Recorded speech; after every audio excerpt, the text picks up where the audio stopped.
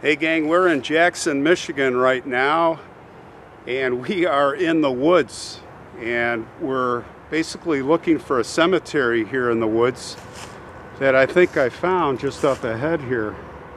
It's called McNaughton Cemetery and it is the location of where a little girl was buried a long time ago, possibly well, it said that she was buried alive. There's a big monument back there that I see that marks the location of the cemetery.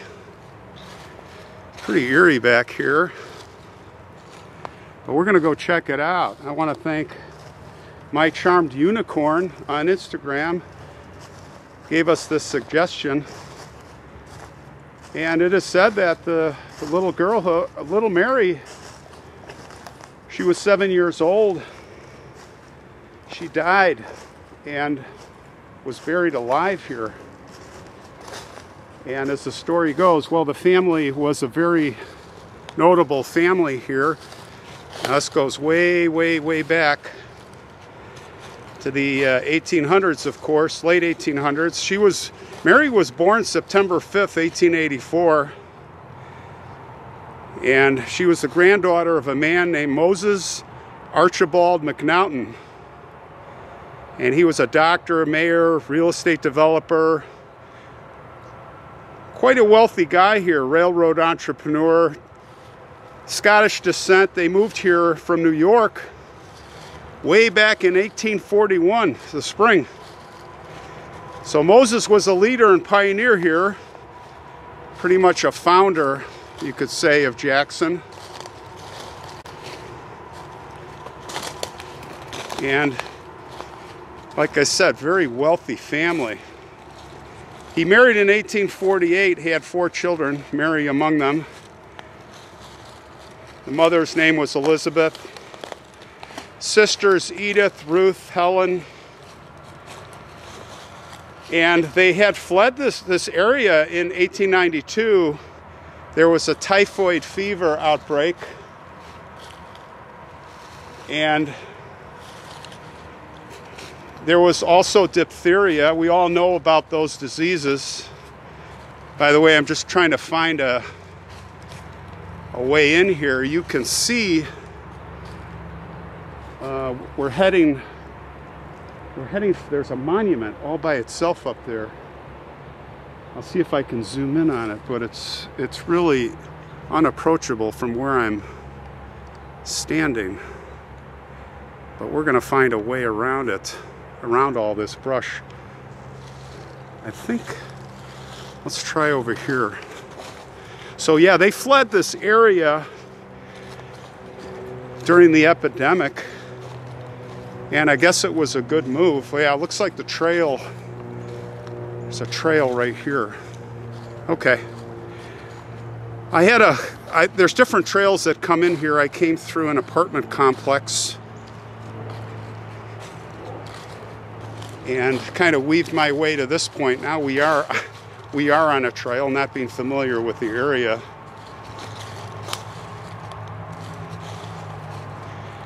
Well, the women, they came back here because Mary had suffered a, a, an infection and her appendix from her appendix had rush, uh, ruptured and you know family was devastated. They came back here. A very difficult journey they say. And the mother the mother either had a premonition or she had a dream or something that her daughter Mary, after they buried her, I believe that's, I haven't been up here, but I believe that's her grave right there, judging by all the flowers, that she heard her screams and they came here and they, you know, to pacify the mother, they did dig her up. They looked in the coffin and the coffin had scratch marks and all the signs, the bloody fingers, hair pulled out, all the signs. that we hear about. And here's her grave, yeah. This is Mary's grave. Right here. Now, of course, when the family was contacted, look at this monument. Even recently, they said, ah, this story's hogwash. Not true. Here's her mother, Elizabeth. Looks like different family members, but I, this is her mom. And it was Elizabeth who insisted that they disinter little Mary. This is the McNaughton Monument. It says Moses here, the whole family. So the family, of course, you know, they, they there's descendants. They're like, oh, this story's hogwash. Well, of course, you're going to say that. I mean, who wants to admit that they're, you know, you buried your loved one alive?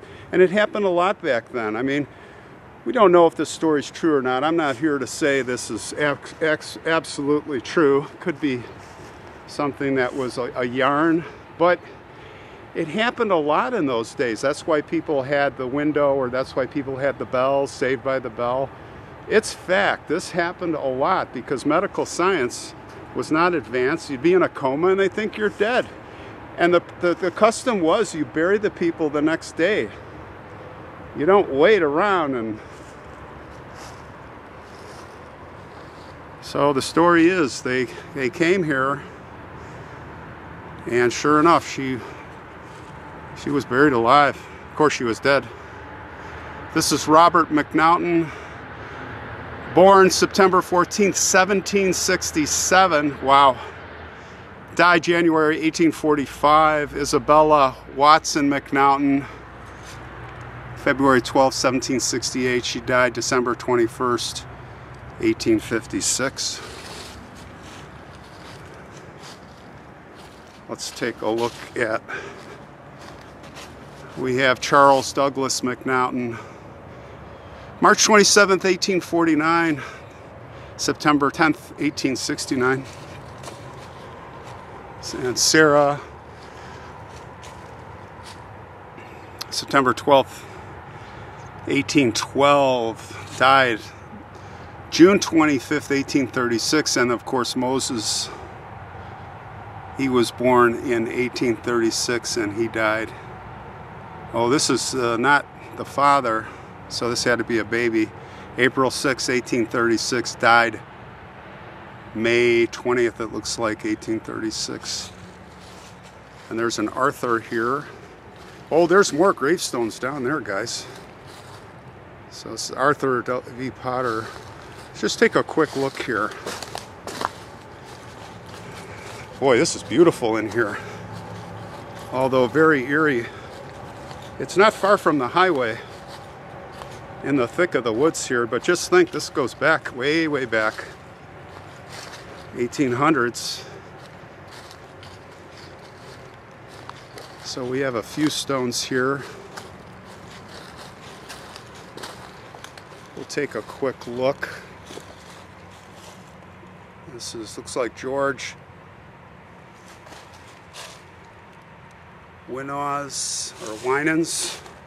Louisa, we've got 1832, 1888. Yeah, this is Winans. 1822, 1888. Both passing the same year. Here's a more modern head, headstone. You have to wonder what's going on here. Walsh, John, Della, and Alma, all passing near the turn of the century or just before.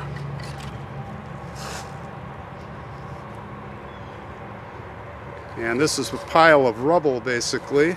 I shouldn't say rubble, just pieces.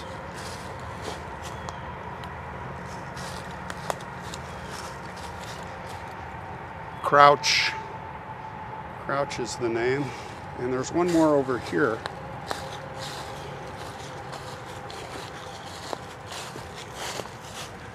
Crouch. So this is the Crouch family.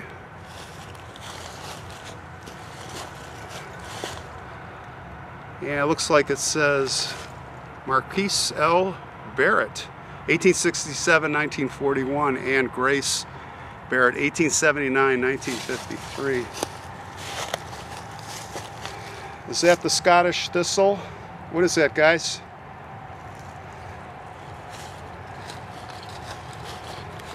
Let's go back up the hill. I wonder who erected that monument. Obviously the family, probably. Many years later. That looks more modern. Of course, it's granite.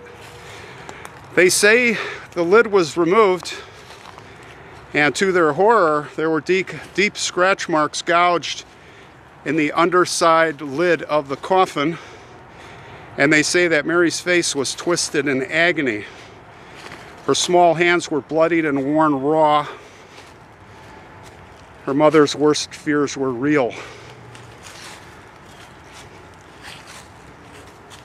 Parents left here in 1906.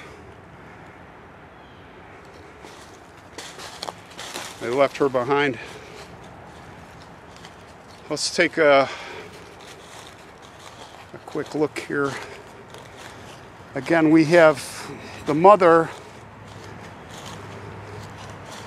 Elizabeth, and we've got Robert, and we have Charlie. So I think Find a Grave probably has a lot of these names and who they were. But here is the grave of little Mary, still here. Looks like she has a new monument. This looks more modern. Sad to say, I'm sure the vandals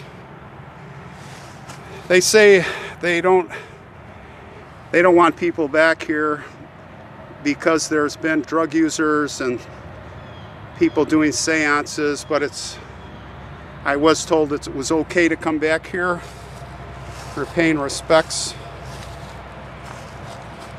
And I did I did talk to some people here that are associated with this about coming back here. So very interesting story. Uh, what do you guys think? You think it's true or you think it's not?